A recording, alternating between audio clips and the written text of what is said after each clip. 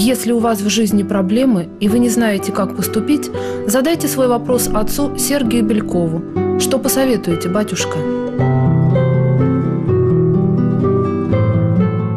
Здравствуйте, батюшка. Здравствуйте. Какие вопросы пришли на ваш электронный адрес? Какие проблемы волнуют людей? Было несколько вопросов по поводу сект, в которые попадает сегодня все больше и больше молодежь. Ну, вот один из таких вопросов мы рассмотрим. Мой племянник попал в секту. Я знаю, что таких молодых людей немало. Может ли кто нам помочь вытащить племянника из секты? Что может сделать в этой ситуации церковь? Ведется ли такая работа? Вся э, проблема в том, что наши дети не получают хотя бы какие-то основы э, православной веры. И научить человека этим основам православной веры и э, подсказать ему об опасности э, попадания в секты должны были его родители или крестные, или близкие родственники.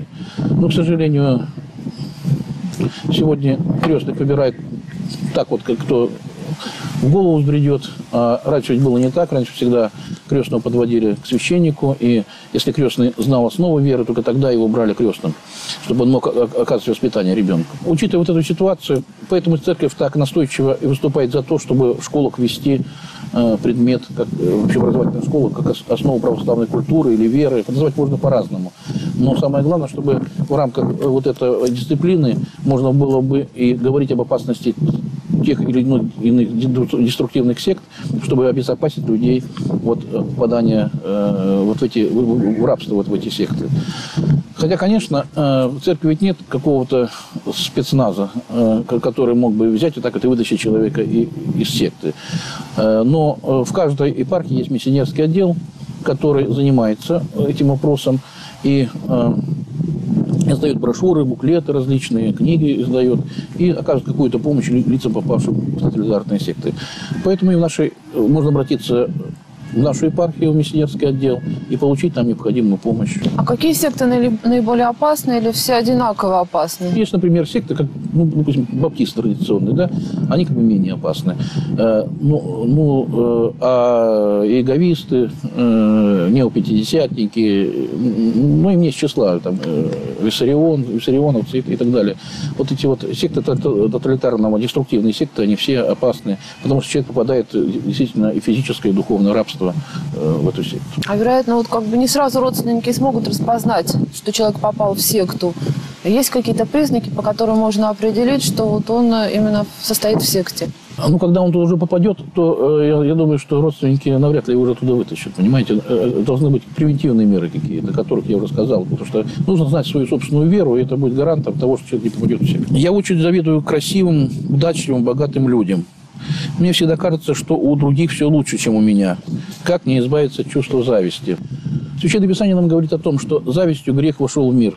И э, сам грех, грех или страсть зависти имеет ту особенность, что если какие-то другие типы страсти и страстных движений души мы можем угасить э, каким-то противоположным добродетелю. Например, если я вас оскорбил, я попросил вас прощения, и вы меня простили. Если я вам нанес какой-то материальный ущерб, я его возместил, и вы э, меня простили, и мы с вами, э, может быть, даже и подружимся, то зависть имеет другую особенность. Э, чем мы человеку больше делаем добра, чем мы ему больше не уступаем, тем завистник все больше э, ненавидит другого человека. И причем он всегда, э, он, он же ведь не сознается в том, что он делает из зависти окружающим людям, обычно говорит, говорит э, человеку, что я, ну, мне не, она не нравится или он не нравится потому, что выдумывает какую-то причину. То есть здесь еще присутствует клевета. Вот в этом грех зависти имеет особенность, и ну, он очень опасен.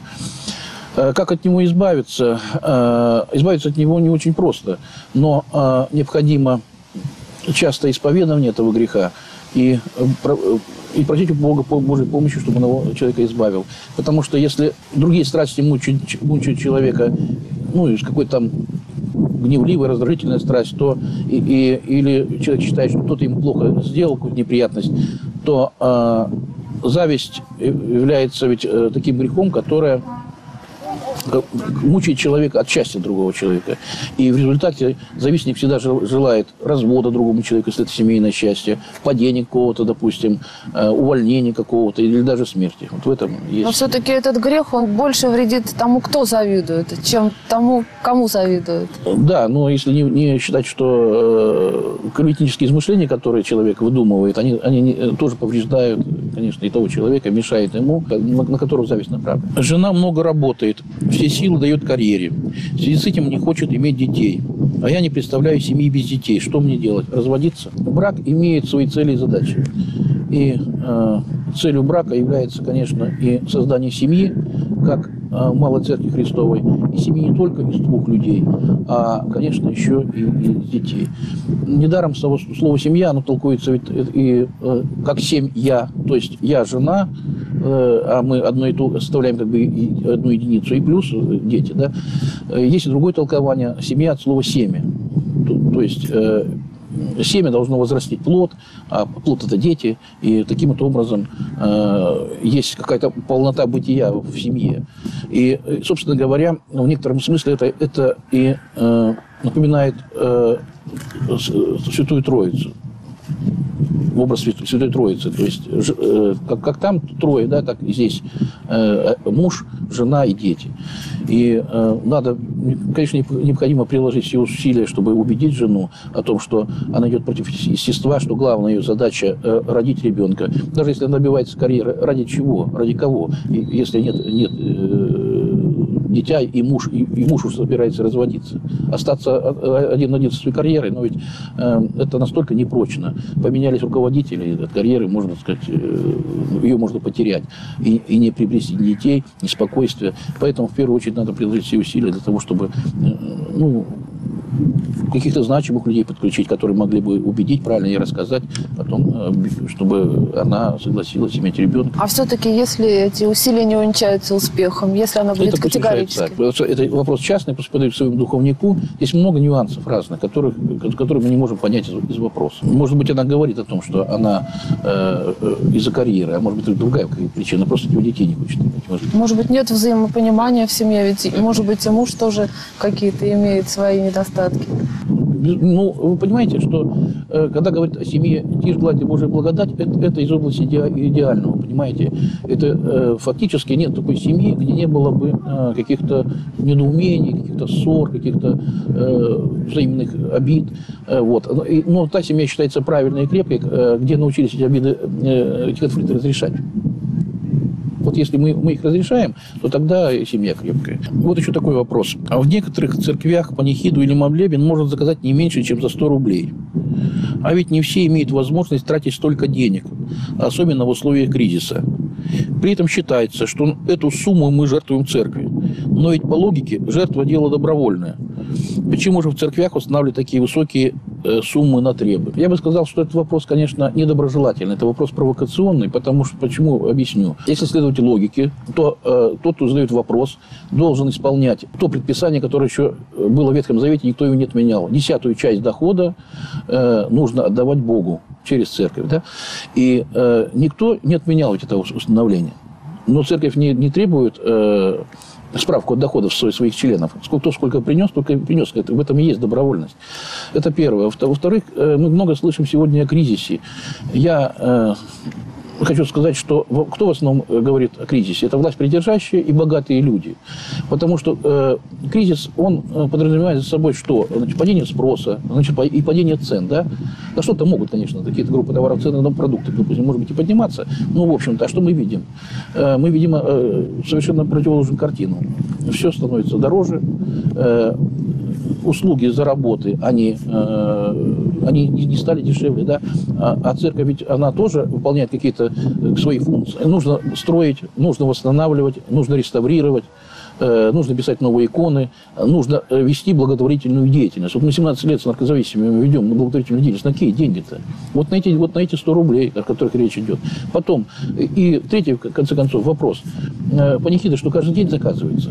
Если мы раз в месяц закажем панихиду или молебен, или, или на родительскую субботу вообще раз в году, то я думаю, что семейный, семейный бюджет это не подорвет. И потом, э, если человек подойдет и скажет, что у него нет денег, и встанет э, там, где служит панихиду, и подаст свою записку, никто никогда ему не откажет. Еще один вопрос. Как православная церковь относится к произведению Юлии, Юлии Вознесенской? Например, к роману «Мои посмертные приключения». Многие православные читают ее книги, искренне верят, что все так, так и будет, как она пишет. Как вы считаете, не вреда ли такая фантастика, не вводит ли она человека от истинной веры в мир иллюзий? Но э, церковь по э, произведениям данного автора, и, конечно, никакого мнения не имеет. Э, э, но э, зато церковь имеет мнение святых отцов по поводу э, фантастики. Что такое фантастика или фантазии? Это э, воображение э, нашего падшего ума, а иной э, э, раз даже и демонических каких-то воздействий на, на э, ум человека, на подсознание человека. И в результате рождаются такие образы, потому что воображение – это придуманные образы, которые есть э, э, непроизвольные, допустим, сон – или произвольные, это когда человек искусственно себе вызывает какие-то образы. В данной ситуации, э, вот смотрите, даже, ну, предположим, вечерних молитв, вот, э, молитва Макария Великого, четвертая, шестая молитва вечерних правил как раз и говорит о том, что мы просим э, сон без мечтания, потому что церковь фантазия называется сон мечтания. То есть мы просим Бога, чтобы Он дал нам сон без сновидений для того, чтобы наш мозг отдохнул, чтобы наше тело отдохнуло, даже сон мы просим, да, вот эти непроизвольные. Вот. И в шестой молитве просим тоже избавь нас от всякого мечтания. Да. Есть молитвы, которые мы прямо избавь меня от мечтания сатанина. То, то есть вот э, говорит о том, что и демонические силы могут навевать на вот эти вот мечтания. И я считаю, что э, книги э, Юлии Вознесенской это просто некая такая возможность заработать, заработать деньги на православном поле. Красивые обертки подавать, отравленную конфетку. И читать ее произведение э, не только э, не рекомендуется, но и опасно. И последний вопрос. Надо ли продолжать молитву, если молишься невнимательно? Василий Великий э, дает нам такой ответ на этот вопрос. Есть невнимательность двух видов. Есть невнимательность от душевной немощи, то есть от, от нашей немощи, да, а есть невнимательность от небрежности. И вот если мы с вами небрежно молимся и знаем, что мы вот молимся, читаем молитвы, а в это время думаем о чем угодно, там, о, о том, что надо сделать, или о том, что мы забыли сделать, то, конечно, это греховное состояние, и необходимо такую молитву остановить и начать молиться сначала. А если же, допустим, мы с вами молимся, и у нас не хватает э, э сил просто концентрировать внимание, то нужно все-таки прикладывать усилия воли, насколько, насколько это, это э, возможно. Спасибо, батюшка. Слава Богу. Пишите батюшке по его личному электронному адресу